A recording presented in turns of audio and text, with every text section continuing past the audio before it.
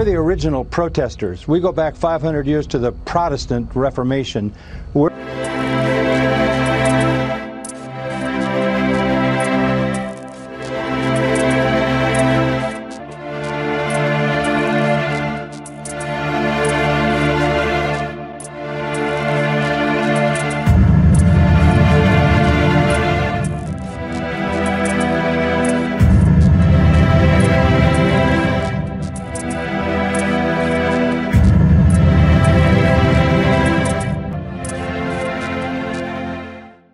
Una vez más con ustedes Claudio Saucedo desde Argentina. Les quiero compartir en este video una entrevista que le hizo el periodista, el gran periodista Tucker Carlson al pastor John MacArthur en su momento.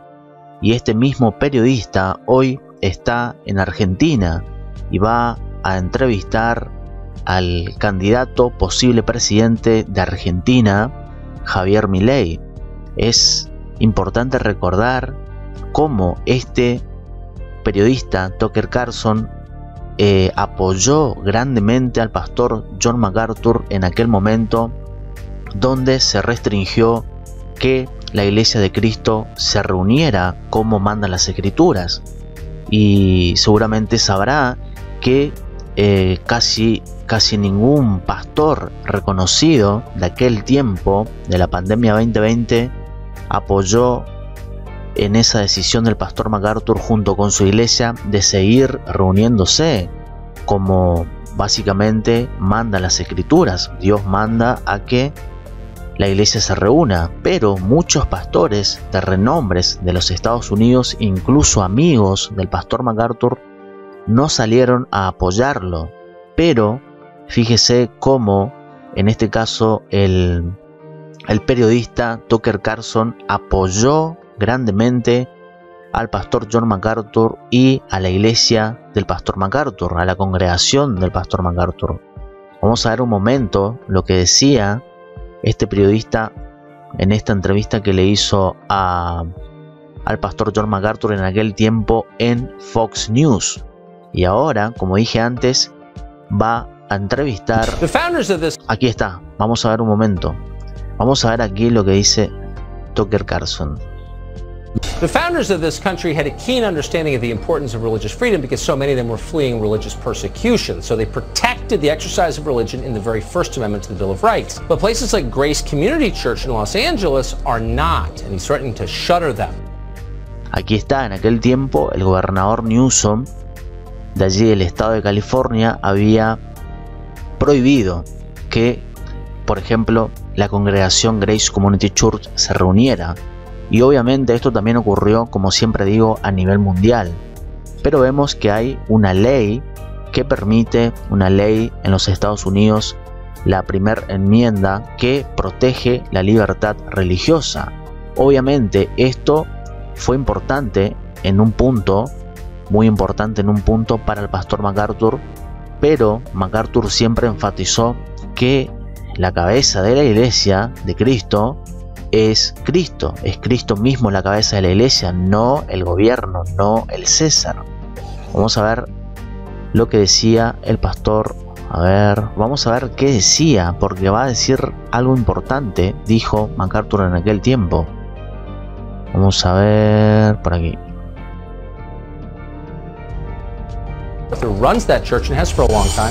We're happy to have him on tonight. Pastor, thanks so much for coming on. Well, first of all and foremost, it's a First Amendment right. This is the United States Yes. of America, and, and the government can't intrude in worship. We stand on that amendment. Aquí dice MacArthur que apoyan esa enmienda de la libertad religiosa. Estados Unidos de América y el gobierno no puede, ahí está, no puede entrometerse en la adoración.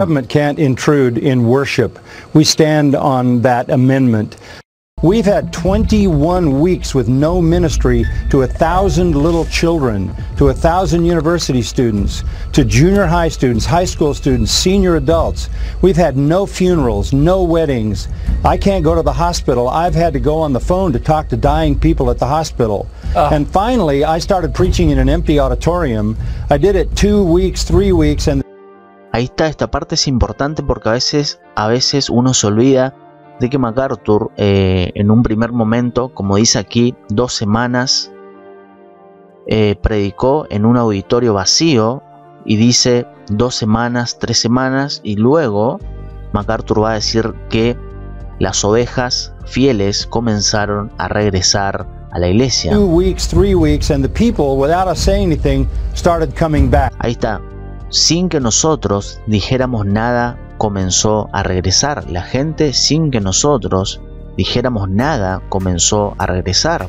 Vemos aquí claramente que los cristianos verdaderos saben que el congregarse es un mandato de Dios.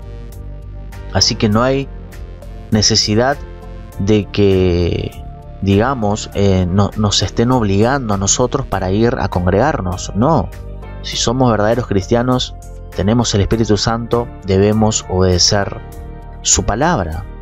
Y principalmente, primordialmente, es congregarse. Uh, esto es importante porque dice que estos cristianos no compraron la narrativa de aquel tiempo. Eso es muy importante. started coming back. They didn't buy the narrative. They didn't buy it and they started coming back. By the way, we're the original protesters. We go back 500 years to the Protestant Reformation.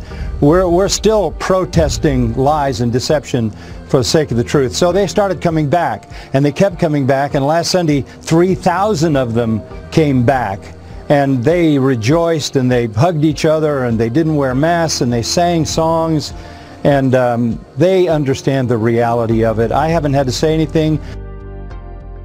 Qué tremendo lo que dijo en aquel tiempo MacArthur, porque fíjese, eh, estos cristianos de la iglesia del pastor John MacArthur son personas que entienden la realidad. Es difícil que a los cristianos se les engañe eh, a, través, a través de la mentira, porque somos personas cristianos que tenemos la verdad de Dios, tenemos el Espíritu Santo, podemos discernir más allá del ser humano común y corriente que no tiene a Cristo. Eso es importante, comenzaron a regresar y siguieron regresando. Eran 3.000 de ellos, 3.000 de ellos regresaron, dice MacArthur. Se regocijaron y se abrazaron. Recuerde que en aquel tiempo se, se prohibió, en 2020 se prohibió que ni siquiera podíamos abrazarnos con las personas, con los hermanos en Cristo, por ejemplo, no podríamos, no podíamos abrazarlo en el amor de Cristo. Y no usaron máscaras y cantaron canciones. Y entienden la realidad, dice MacArthur. No compraron la narrativa, no compraron la narrativa de aquel tiempo y comenzaron a regresar.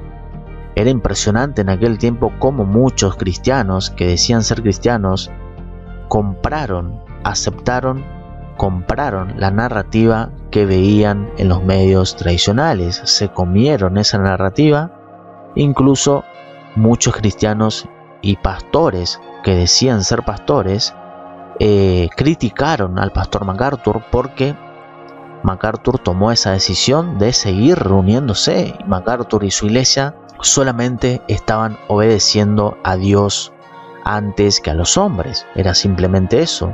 Fue MacArthur simplemente un valiente, fue alguien con, que respondió a su llamado como pastor de ser valiente y obediente, ser fiel a la palabra de Dios, ser fiel a Cristo.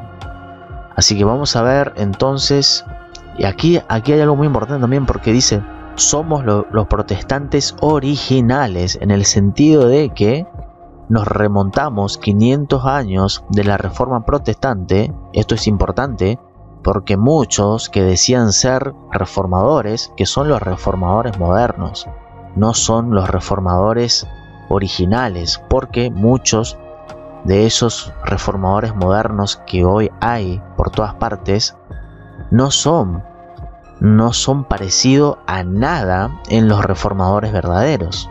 Así que MacArthur dice, nos remontamos en aquel tiempo, en el 2020 en adelante, nos remontamos 500 años de la reforma protestante, todavía estamos protestando por mentiras y engaños por el bien de la verdad. Impresionante las palabras del pastor John MacArthur y fíjese como el periodista eh, Tucker Carlson sonreía porque estaba escuchando eh, todo esto de parte de un pastor amante de la libertad en Cristo como, como somos nosotros los cristianos. Carson, Carson es un periodista libertario, es un, eh, es un periodista que también está muy alineado al pensamiento y al pensamiento libertario, hablando políticamente, humanamente, con el, el expresidente Donald Trump. También recuerden aquel tiempo que Donald Trump llamó personalmente por teléfono al pastor John MacArthur. Ese video creo que tengo aquí en mi canal. Así que comenzaron a regresar y siguieron regresando. Vamos a ver otra parte. Bueno, aquí está. Esto fue noticia aquel tiempo. Vamos a ver un momento para finalizar esta parte.